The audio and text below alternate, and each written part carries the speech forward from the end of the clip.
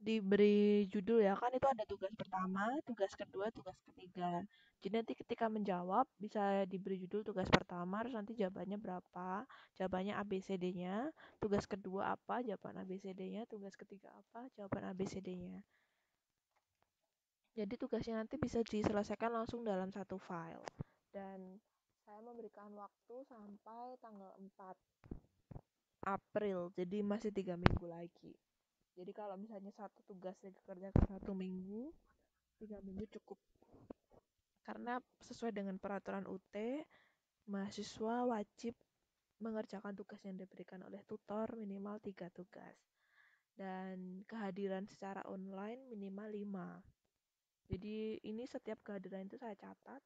Nanti ketika TTM, pertemuan terakhir, pertemuan ke-11, saya akan bawa print hard filenya dan saya akan meminta Mbak dan Mas untuk tanda tangan bukti kehadiran setiap online.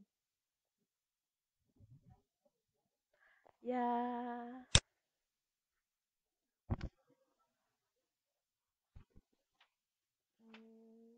Ya ya Mbak. Oke, sekarang kita akan mendiskusikan halaman 6.28.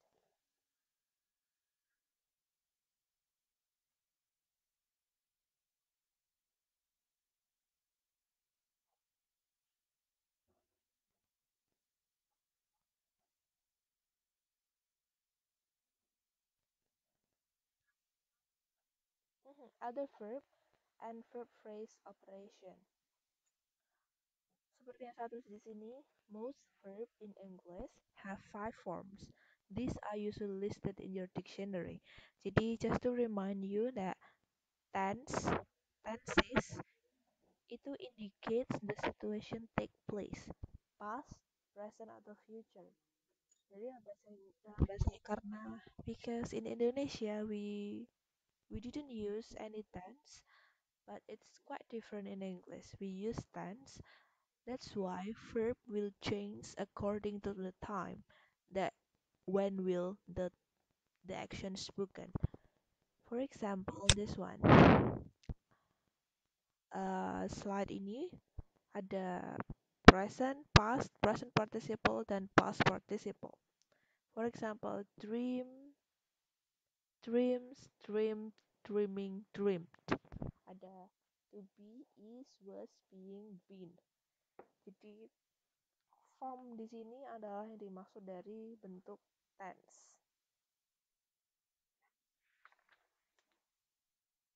Nah, mari kita baca dulu ya. Karena di sini ada banyak yang bisa aktif. Mari kita baca yang halaman 6.28 bagian aspek. Hmm. Ada tiga paragraf, nanti dibaca bergantian ya. Paragraf pertama, anyone anyone willing to read this?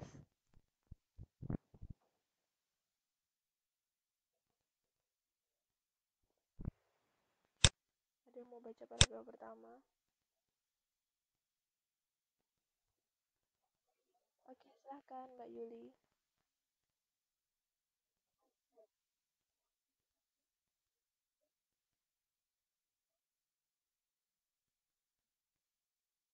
Ya, Asna. Oke.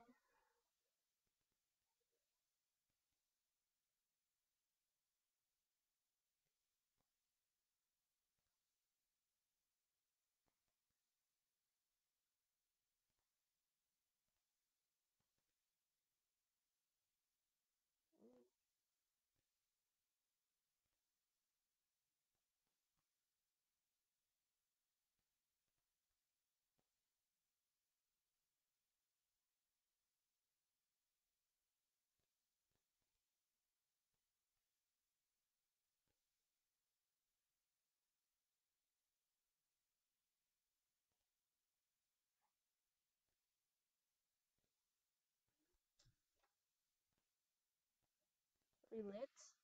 Mhm. Mm-hmm.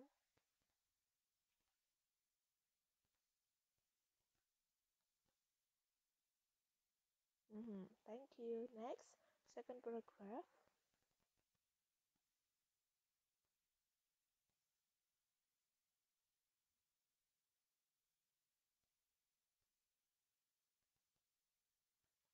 Ada yang mau baca paragraf kedua?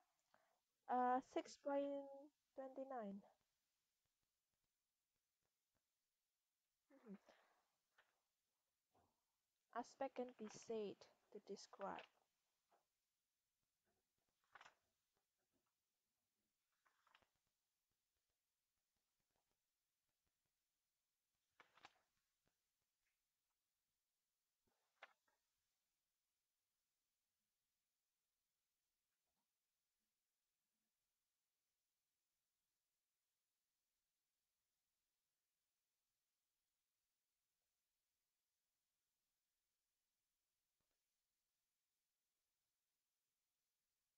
describe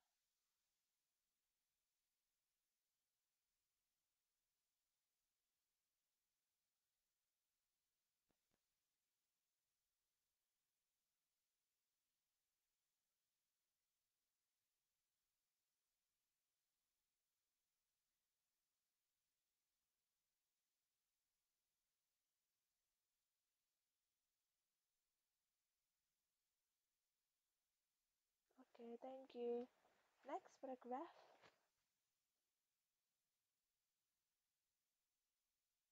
Six point twenty nine. The second paragraph on this passage. And the next paragraph. Both tenses refer.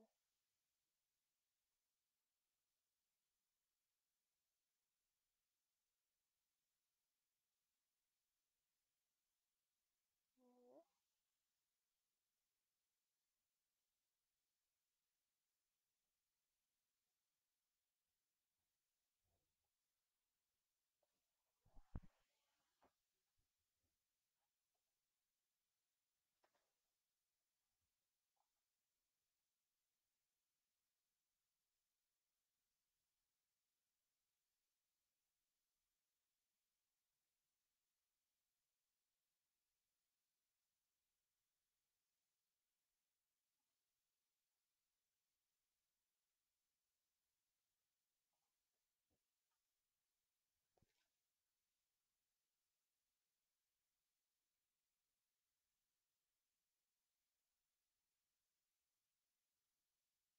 Mm-hmm.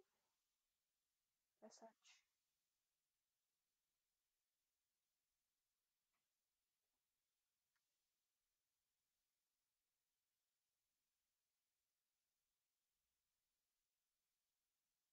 Mm-hmm.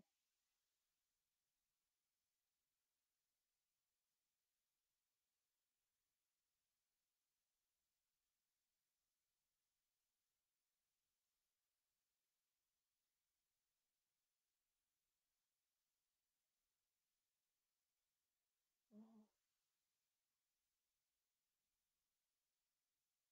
An event.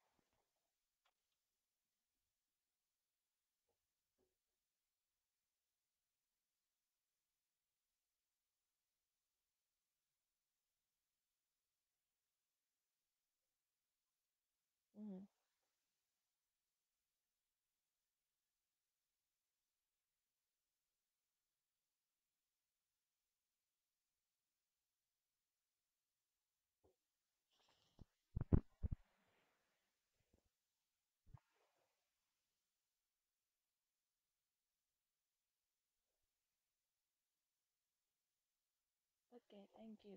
Jadi sebenarnya aspek itu adalah to what degree the time happen, to what degree the event happen. Jadi waktunya, waktu kronologi waktu yang terjadi itu kak bagaimana? Contohnya, for example, the word I eat, I am eating, I have eaten, and I have been eating. All of them are in present tense. Semuanya itu present tense, terjadinya sekarang, di masa ini. Tapi ada kronologinya. Jika ngomong I eat, it can be a habit. But I am eating, that's the actual what you are doing now, what exactly you are doing now. But I have eaten It happened now, but you have finished. You finished all the action. Terjadi tapi sudah selesai. I have been eating artinya you have started eating and right now you still eating. Anda sudah makan dan sekarang masih makan. Jadi semuanya terjadi sekarang, tapi chronolog chronological sequence is quite different. So this is the function why we learn tense.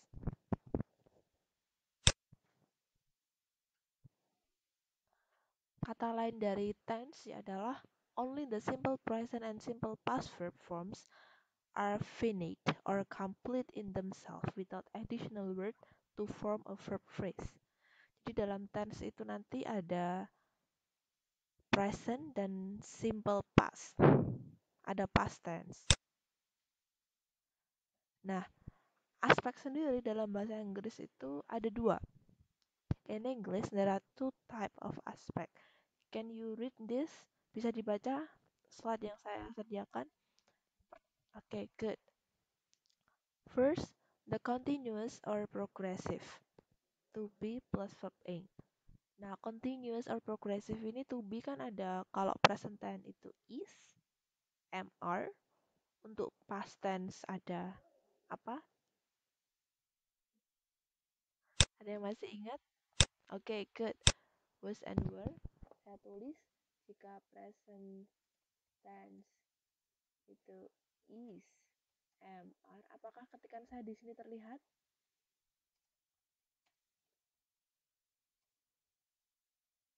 Oke, okay, was and were. Dan jika dalam past participle bentuknya adalah been. Dan untuk progresif sendiri adalah being. Nah, untuk tense yang ke, untuk aspek yang kedua adalah perfect, artinya itu complete. Have plus ed or en, it depends on the verb. So we have to memorize all the verbs. Karena dalam verb sendiri ada regular dan irregular verb. Nah, dalam bahasa Inggris sendiri ada finite dan indefinite. Apa artinya finite dan indefinite? Finite itu artinya pasti. Mari kita buka halaman 6.30.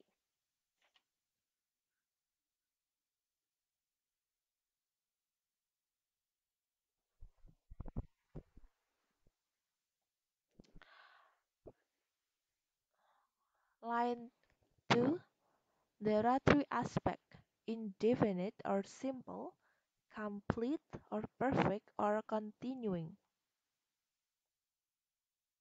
The three indefinite or simple tense describe as an action but do not state whether the action is finished. Jadi kalau yang indefinite itu tidak pasti, itu tidak menjelaskan apakah itu sudah selesai atau belum.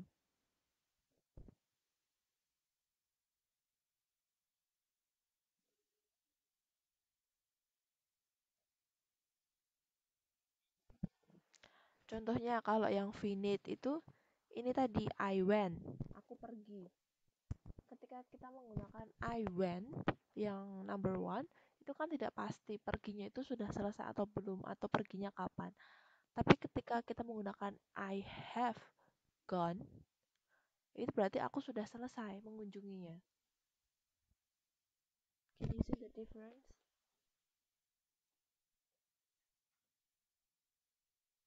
Bisa lihat di bawahnya. The three complete tenses or perfect tense described as a finished action.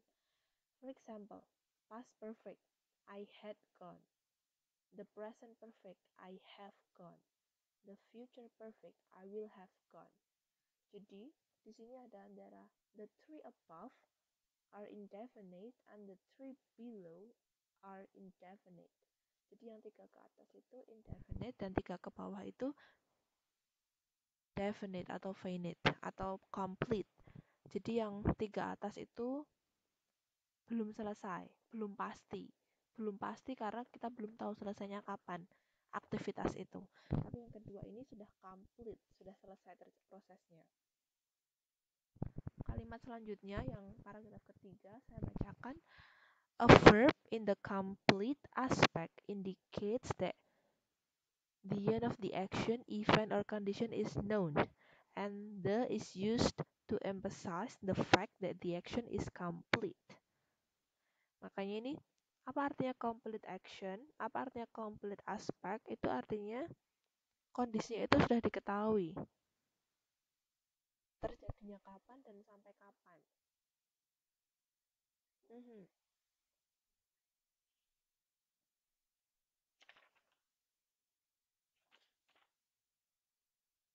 Contohnya, halaman 6.31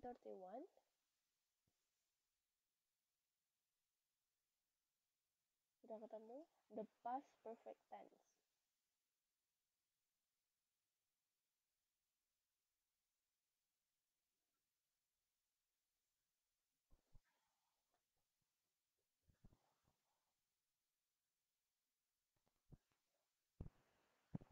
The past perfect tense is used to refer to action that took place and were completed in the past.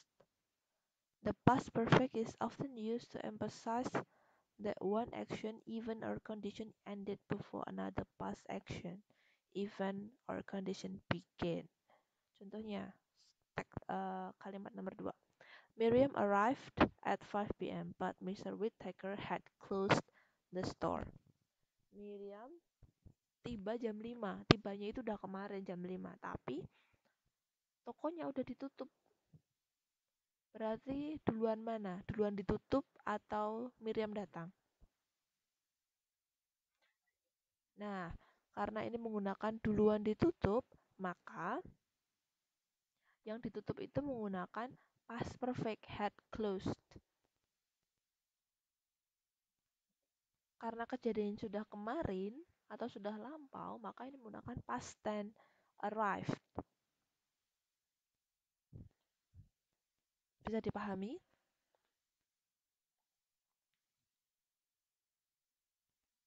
Hmm.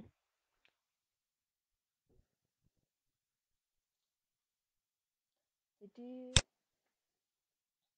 contohnya ini dari yang sudah saya berikan di slide 9.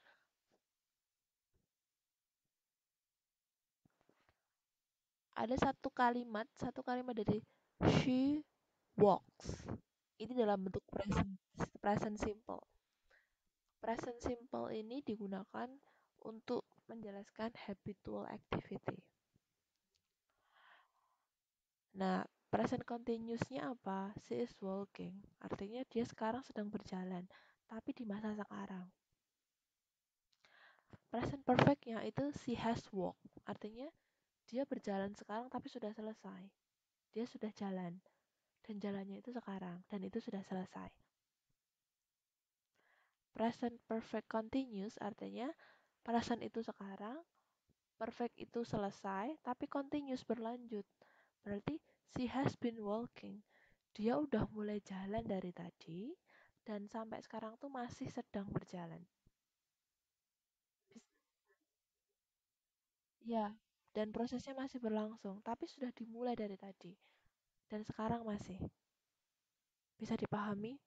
Jadi present itu artinya sekarang, perfect itu sudah selesai, continuous itu berlanjut. Artinya proses itu sudah dimulai, tapi mulainya itu sekarang, mulainya itu di masa-masa ini dan sampai sekarang tuh masih. Contohnya berarti kalau misalnya, contohnya misal Mbak Rini sudah bekerja di sini selama misal misal nih saya nggak tahu pastinya berapa misal lima tahun berarti I have been working here for five years. Jadi dimulai dari tahun misalnya tahun 2018 kan dari 2013 sampai sekarang ini sudah lima tahun. Dan sekarang ini tahun kelima dan masih berjalan. Maka menggunakan present perfect continuous. Bisa dimengerti? Nah, selanjutnya adalah selanjutnya adalah past simple. Apa artinya itu past simple? Artinya sesuatu yang sudah terjadi di lampau. Tapi kita tidak tahu itu terjadinya itu kapan dan berapa lama. Uhum. jadi kita tidak tahu itu terjadinya kapan yang jelas itu sudah terjadi tapi kita tidak tahu sequence-nya berapa lama nah past perfect sendiri itu si had walk itu lebih lama lagi kayak tadi contohnya kalimat nomor 2 Miriam arrived at 5 p.m. but Mr.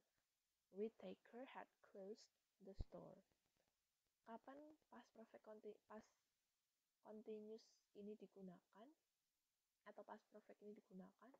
Past perfect itu digunakan ketika kita menjelaskan sesuatu yang lampau. Misal uh, setahun yang lalu saya sudah pernah makan misal saya sudah pernah makan beef noodle.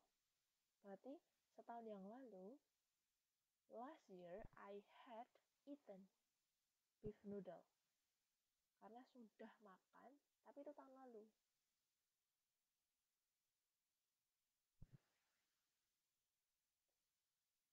Kalimat selanjutnya adalah past continuous.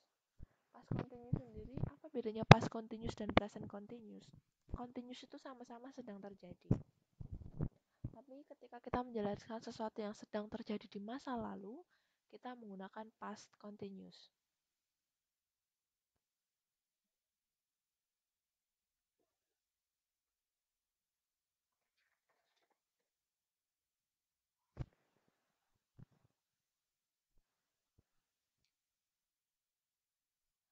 Selanjutnya adalah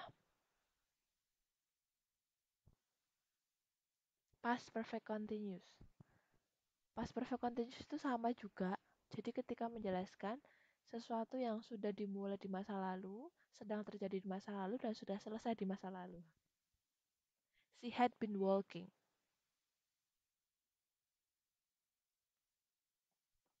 Yang bagian selanjutnya adalah future simple. Future itu ke depan. She will walk, dia akan berjalan. Nah, she will be walking artinya di waktu ke depan dia akan sedang berjalan. Future perfect artinya di waktu ke depan dia akan sudah berjalan. Dan future perfect continuous artinya di waktu ke depan dia sudah memulai dan masih sedang berjalan. Saya tahu ini tidak terbiasa untuk orang Indonesia karena dalam bahasa Indonesia tidak ada kalimat-kalimat seperti ini. Tapi karena kita sedang belajar bahasa Inggris, dalam bahasa Inggris tensa itu bentuknya seperti ini.